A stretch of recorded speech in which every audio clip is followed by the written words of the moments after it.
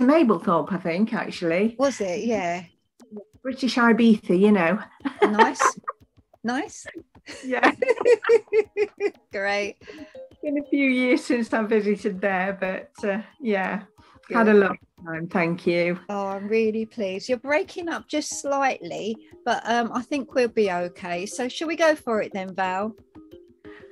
Okay, jump in. Okay, then let's go for it. So, Val, welcome this morning to the gift. And Val, you were trained as a drug and alcohol counselor, but sitting and listening to someone else's pain and being able to give comfort to them sounds like a gift to me. Because not everyone could do that, and some people may even feel very low having to listen to someone else's problems. You provide patience, support, attention to detail, and a listening ear. Did this gift come easily to you? I would say yes. Okay. I'm very much a people person, um, but I do believe that listening is a gift. Um, a lot of us don't listen um, these days. Um, counselling um, became part of me gradually um, through different situations and circumstances. Obviously, different people came into my life. yes. Um, and um, I have to say, it's it's for as much as that you are dealing with very sad situations sometimes. All of my um, results are very positive. You know, I, I really felt that God had His hand on me, and that was the calling that He gave me. Um, and He definitely encouraged other people. We are not, as counselors, we're not there to solve that problem. No. So, being a Christian, um, you can feel a little bit more relaxed in that, if that makes sense, um, because you are just listening to somebody. Um, you know, you're not there to give advice, um, to say do this or do that. You're there to listen Yeah. to show that empathy and to show that care. And yes, it's sad sometimes if somebody, you know, dies and you're counselling them through that situation or you know, um, various other situations. It's very sad. And lots of times I used to come home and cry, Yeah. you know, um, but. Um, you do know that you're there for a reason, that God has called you for that purpose, and that's everything. Everything.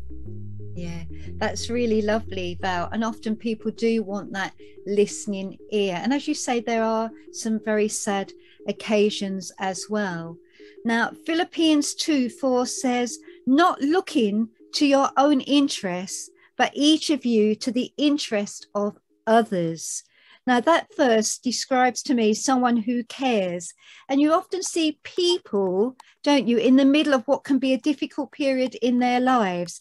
How can the average person then, Val, bring comfort to that person? Do you think? Right. I know we're talking in a professional sense as a counsellor, but let's step back a few steps and have a look at that. If you had a friend um, who was experiencing difficult situation, what would be the kindest thing you could do? Is just sit down and have a cup of tea with them, hold their hand, and maybe pray with them. Um, that is where, as counsellors, we we step in, you know. Um, but we should all be in that situation. Um, we can't all give everything. We can't give what we don't have, um, but we can be there for each other. I was very much thinking about what you said. God didn't put Adam on the earth on his own. He brought Eve along to give him some company. And that shows us right from the beginning the example of how we need to be there for each other. Um, and it's not solving other people's problems. It's just being there and being that friend. Being a counselor is different because, you know, very often there are very intimate things that come out, um, you know, but ultimately we are all there for each other. Um, and as Christians, we know that, you know, um, and we appreciate that, don't we? Yes. That we, you know, that God is with us and we're never alone. Um, he said he'll never leave us nor forsake us, um, which is so comforting. Um, but it's all right. I've written my notes down on the board. That's Yeah. okay. no problem. But as a counsellor, you know, um, it's vital that we are there to replace those negative thoughts with positive thoughts. I agree. to build that person up to a place where they can make the next step on their own. They're not on their own. Mm. It's not it's not giving advice or anything like that. It's it's building somebody up to be who they are in Christ, you know, um, and to show them their worth. Yeah. Do you think it takes time, Val, to build up that positiveness inside? It doesn't happen overnight, does it? Every situation's completely different, Jeannie. Right. And Okay. every every individual is different Right. it's like i said you know from the start what you have to do is listen Mm. you know and when you listen you hear more than you do um, at any other time you know um yeah it, it's I think that's yeah did an that help important point. Yeah, it does. That's an important point. And Val, so you help people then in society, and the Bible talks about our need to show empathy. Yeah. Jesus made it clear that to be his disciples, we need to be engaged with the pain and suffering of a fallen, sinful nature. And Paul, who said we should weep with those that weep, Romans 12, verse 15. Do we fail in our duty when we sit back and just watch? Your opinion. I don't want to be judgmental on that one, actually. And that was one of the questions that made me stop and think for a while. Yeah. Um, and that was where I came to the conclusion about Adam and Eve. Yeah. Um, we we are not alone. No. We are together, um, and we all have something to give, even if that's just a a cake. You know, when somebody's a little bit down. Um, the, the difference, I think, is um, it is that listening and that caring and just that person knowing that they can share all the awful things that they've got inside them um, and and that confidentiality is really crucial. Um, because a lot of us just don't feel that we can share anything around us because you know people chatter too much. Yeah. uh, you know so having a counselor um, gives you a little bit more security in that you know that they're going to be completely confidential with what you say. Um, but prayer i think is always our first line of defense you know um, and even as a christian you know, when we go into a counseling situation, we can't force that on somebody. But I believe that when we pray, we take God with us into that situation. Brilliant. Yeah. And the countless times that people have said, gosh, how peaceful was that? You know, or, you know, made lots of lovely comments, not about me, but about the sense of God's peace being there. Um, so it's important, you know, that we pray. Um, Um, and there are so many ways to help each other. We know that. Obviously, we can't give what we don't have. No. But we've always got something that we can give, even if that's a hand, yeah. you know, reach out. Yeah, I agree totally with what you've just said, Val. And also, I think people need to know that um, this being not judgmental as well, because yeah. then people feel free to open up, don't they? You know, Absolutely. if we're not judgmental.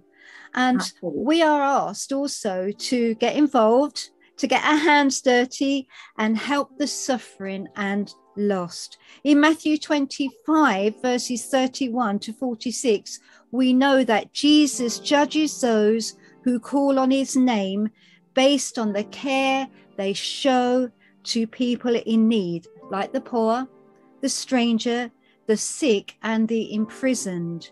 Now, that sounds very practical and hands on to me. So, how do we view that scripture in Matthew 25, then, Val? Well, for me, the answer was in verse 40. Yeah. Yeah. And he said, I tell you the truth. Whatever you did for one of the least of these brothers of mine, you did for me. Yeah. Yeah. And so, as much as I was a trained counselor, I believe that we all have that gifting of caring, of sharing, of love, joy, peace, patience, kindness, goodness. Yeah. Um, and it's having the confidence to just be able to reach out to somebody, um, whether that's a need or, you know, um, how can I explain it? I have a, a feeling when I'm near somebody that something's not quite right. Yeah? Yeah. Very often I will have that feeling of just putting my hand on their shoulder. Mm. Yeah? yeah. And I tell you, nine out of 10 times, Jeannie, it's been absolutely positive. Um, but I think you've got to be in that place, you know, to be able to want to share. Yes, not, of course. Not, tell people how to live their lives, not, you know, just to be a listener and a carer, to be a hand and, and of comfort to people. Yeah, and I think you've got that sensitivity. That's why you can uh, reach out to people and put your hand on their shoulder and say, hey, look, you know, uh, can I help you, sort of thing. So that's really wonderful. And that may be something that the Lord impresses in your heart, that feeling too. So, Val, do you think every carer has their own style? What's your take on that? Of course they do. Yeah we're all completely unique. You know, we're all different. Um, and I believe, you know, that as much as it's a gift, it's a it's a gift in a different way for different people. Exactly. And moving into different situations and circumstances. I mean, um, could I handle being in Afghanistan now? I'm not sure. You know, how would we handle it? So, um, but God knows the right people to put in the right place at the right time, and that I truly believe. Yeah. You know, I do. Um, yeah. So, yeah. Good answers. So, many countries have a team of healthcare people in society, which makes a big contribution to people's well being, like you yourself. Those of you who do this kind of work are a gift from God to the rest of us. Your knowledge is invaluable to society, and we would not function well without you and those long hours you have worked with others. What keeps you going? Oh, bless you. Knowing and believing that I'm answering God's call on my life is everything. Um, and knowing that I'm there, He's using me, um, be there for others is such a privilege, so humbling, Jeannie. Um, and when the testimonies come back of the way that you know things have turned around for them, it's a wow moment. It really because you get to see the hand of God at work in different people's lives um, and it's transforming. It's amazing. Yeah. And very encouraging as well. So, Val, during the pandemic, healthcare professions have played a mega part uh, in society. People have begun to realize just how important they are. Although God has always seen your importance, when we have taken it for granted. How do you think this next Bible verse is helpful? It says in 2 Chronicles 15, verse 17, But you take courage, do not let your hands be weak, for your work shall be rewarded. And I believe that totally, 100%. And I've experienced it so many times in my own life. You know, um, a lady walked up to me one day and said, Val, I want to say thank you. You saved my life. Just stop and think about that for a minute. My sister was with me at the time and she burst into tears. We don't realize sometimes the impact that we have on other people. Um, and whether that be negative or positive, yeah, and we have to be careful about who we are, what we say, what we do, because we want to honor our beautiful Savior and we want to be that blessing to the people around us, to be His ambassador, to be His heart, to be His hands, to reach out to the people around us. Um, yeah, do not let your hands be weak. Yeah, um, God will empower us um, and enrich us with so much when we start to reach out to each other. Um, and praise the Lord, you know, He's the one that guides and leads us. Amen. Yeah, and I think sometimes we could be the only person that that particular person sees that day. So it's good to be kind and show kindness. So, Val, what a wonderful gift. Thank, thank you. you, Val. Well, thank you, Lord. Yeah, it's been great to be with you, Jeannie. And I hope it encourages other people, you know, Very just much. out um, and just be yourself. Um, just be kind and generous, um, and God will bless your socks off. Great. Thank you, Val. God bless you. Bye. How did you find that, Val? Well done. They were super answers, you know, oh. really super oh. answers. Yeah.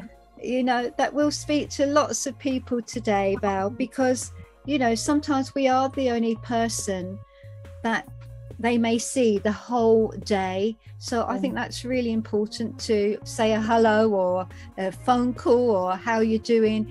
And it can make their day from a dull yeah. day to a positive, great day.